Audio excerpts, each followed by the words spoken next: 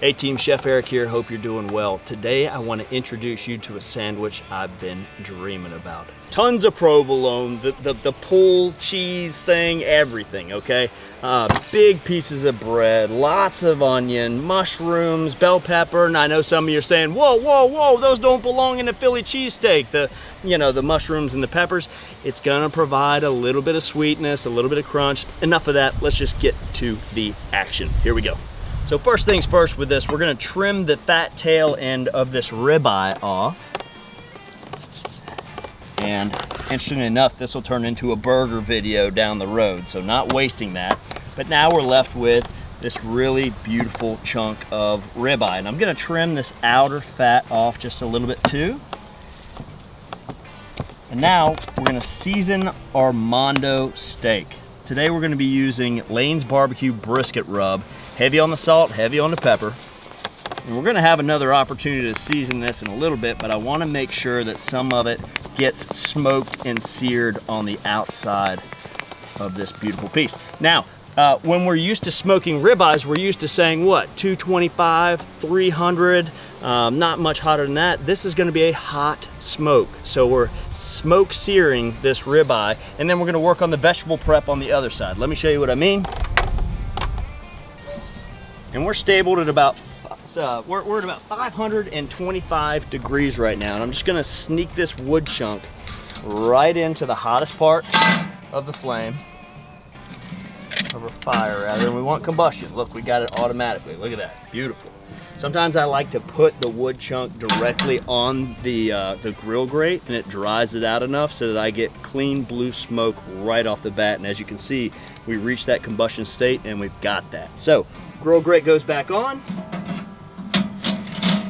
Hot smoke sear begins so traditional Philly cheesesteak does not have the mushrooms or bell peppers, but I like it for color contrast, I like it for the sweetness, uh, and I just like a little variety. So whenever I'm cutting mushrooms, I like to do assembly line style. I move raw product, working space, finished product. And so we'll just start by slicing the mushrooms. Let's work on getting our onions. There is nothing better than a caramelized onion on a sandwich with hot cheese and steak. I mean, just get out of here with that. Well, maybe one thing, mushrooms and bell peppers added to it. Let's open this up and just take a look at it. Uh, you don't have to worry about white billowy smoke. When you when your grill is rocking and rolling like this is, you just have great combustion and great smoke. So let's go ahead and add our mushrooms to the cast iron griddle, our onions, all right, pepper.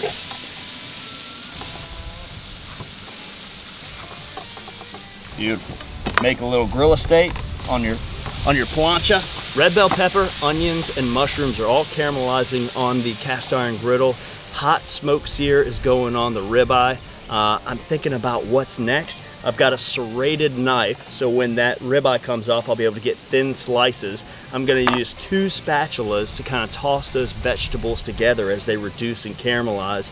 I got my cheese, I got my butter, I got my bread. We got everything we need. Let's get them. A little duck fat spray will go a long way, and that's just gonna increase connectivity. Let's season our vegetables a little bit. Oh yeah.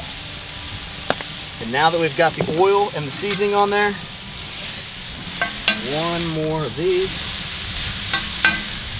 and then push it flat so we continue to get that even caramelization. I'm going to close the dome and let this ribeye smoke for just another minute. Then we'll take it off and we're going to slice with a serrated knife so we can keep it nice and thin. Then I'm thinking butter on the griddle, thin slices of steak, and we'll start toasting off that bread to finish the sandwich. Oh, we gotta melt the cheese too. How can you forget? It's all about the melted cheese. Now, those of you thinking we're using Cheez Whiz, we're not, right? We got that provolone. Um, what is the loneliest cheese? Provolone, provolone. Got them, dad jokes for days. Uh, you know, I feel like you can get away with that when you're standing next to the grill. No? No. Yeah, no? Folks in the comment section down below, uh, tell, give us a good, clean dad joke, okay? Yeah. Vegetables look sensational. Let's go ahead and bring them onto our cutting board. Let's go ahead and grab our steak off as well. And without even allowing it to rest, it doesn't need to rest. It's just blister seared on the outside.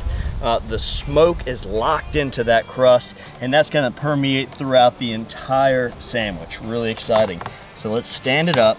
Again, I do like to use a serrated knife here so that we can keep it thin. Each one of those teeth just kind of grabs into it. So a little positive pressure and a thin slice. I like to use ribeye for Philly cheesesteaks just because of the marbling in here and that's gonna melt and just give us a very tender bite.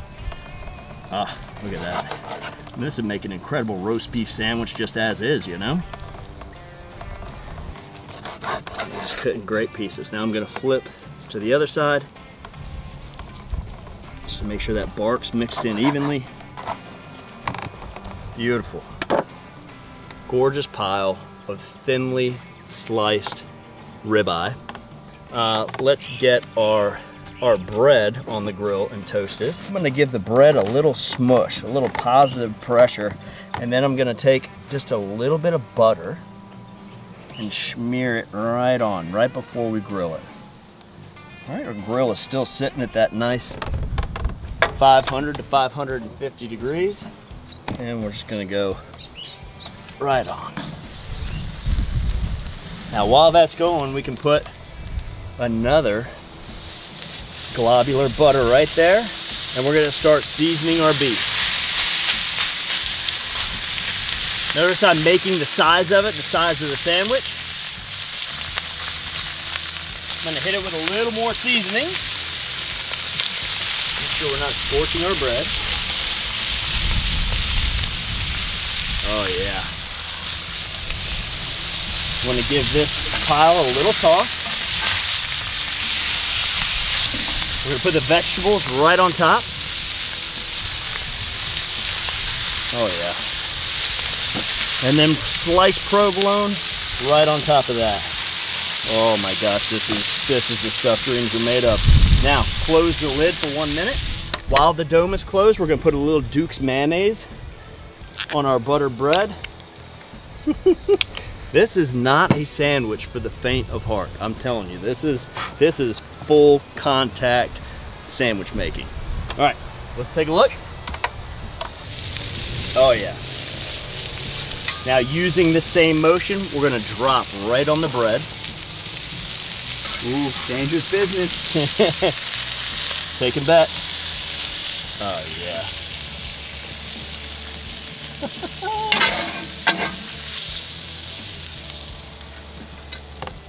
Let me do this.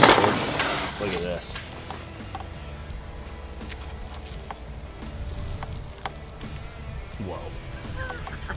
Yo, can we just take a second to look at what just happened? I'm not talking about recap and, and the process of it. We just made a sandwich that's worth taking a shower after you eat it. I mean, this is crazy. This is not generally my kind of food, but when I see it, if you're gonna turn that down, you're out of your mind. This is a two pound hot sear smoked ribeye Philly cheesesteak with the addition of some mushrooms and bell peppers. Uh, you know, and, and I, I just absolutely love everything about what I'm seeing here right now except for the fact that I got a good shirt on and I don't even know how to take a bite of this thing. I, I brought one of these guys. Gonna go full anaconda. Yeah, but let me let me just kind of. That works. There we go. Little positive pressure goes a long way. All right. Let's see how we did. Oh, jeez.